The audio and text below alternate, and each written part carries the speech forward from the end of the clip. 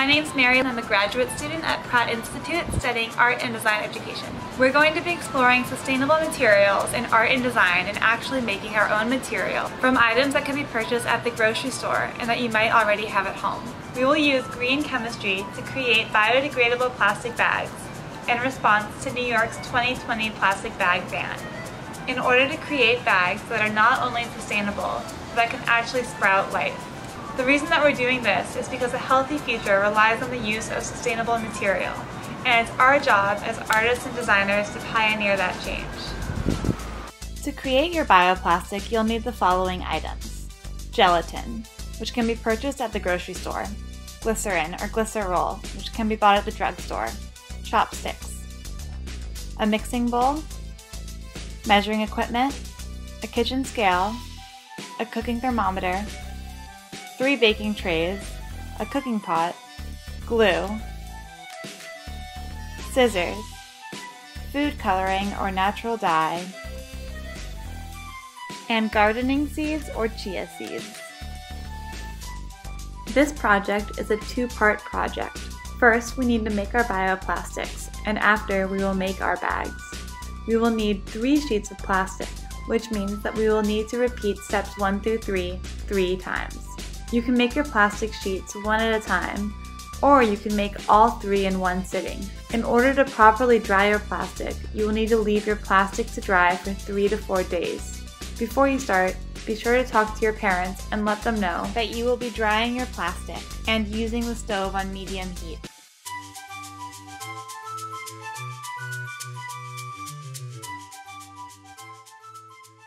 First step in making bioplastic is to measure out your gelatin. When we use a scale, we first zero it out before adding our gelatin. So there are two ounces of gelatin. And so now we have the gelatin that we'll need to run our experiment. Next, we'll measure out our glycerol to make a solution in water. To do this, we'll combine 4 milliliters of glycerol with 1,000 milliliters of water. We're going to add our glycerol and we're gonna stir our solution. So now what we have are the basic components of a bioplastic. Now it's time to heat our solution. We will measure out one and a half cups of our glycerol solution. Turn the stove onto medium heat and slowly heat your solution in a cooking pot. You don't want your solution to boil. We are only heating it. Using our cooking thermometer, we'll measure the temperature of our solution. As we heat up our solution, we are gradually going to add gelatin. At first, we will see that the gelatin doesn't dissolve in the water. Over time, as the gelatin heats, it will denature and form hydrogen bonds that will allow it to dissolve in the water. Now you can see that steam is coming out of my beaker and that bubbles are forming on the bottom of the solution. My temperature is 194 degrees Fahrenheit or 90 degrees Celsius, so I'll turn off the heat and remove my mixture.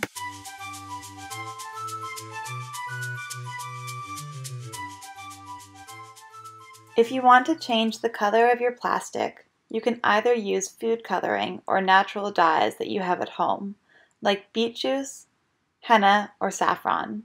In this case, I'm going to use spirulina.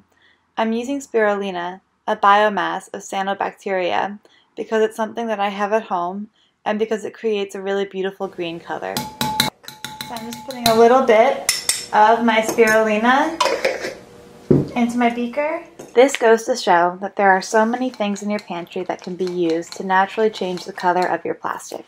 Once you have dyed your plastic to be the color you want it to be, you are going to grab the first baking sheet from your kitchen.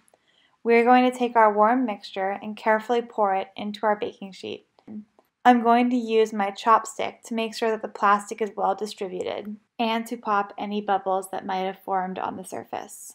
Before we leave our plastic to dry, we need to embed it with seeds. The reason we are using seeds is to incentivize recycling. This is a tool we are using as designers to not only showcase the nature of the bioplastic, but to celebrate it. Now that my plastic is ready, I'm going to leave it to set. Once the mixture cools, it will form a gel similar to jello. We want all the water to evaporate from our plastic. So once your mixture cools, you should move it to a place where it can dry with proper air circulation. To create a full bag, we'll need to make two more bioplastic sheets. So, after you pour your plastic, you should repeat steps 1 through 3 to create two more plastic sheets. Here are my two dried bioplastic sheets that I have already embedded with seeds. If you look at these plastics, they behave similarly to plastic bags. Much like a plastic bag, they are very flexible, durable, and light. There is a lot of potential for what we can do with this material. In order to make my bag, I want both plastic sheets to be the same size.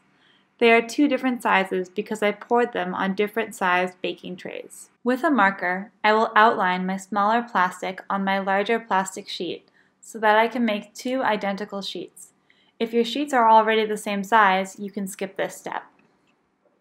After cutting along the outlines I made, I have two identical sheets. To create a handle for my bag, I am going to draw my handle on one plastic sheet before I flip my plastic sheet over to draw an identical handle on the other plastic side. Now I have two identical halves that I want to bring together.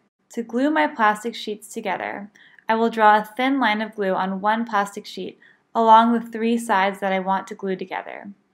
Then I will place my second sheet on top and press the sides together to secure my plastic sheets into a bag. The last thing that I will add to my bag is a logo. To make a logo, you can trace the outline of a pattern or symbol onto your last sheet of bioplastic. I chose to write thanks on mine. I've cut out my logo and now I'm going to glue it to my bag. So that's the end of our project.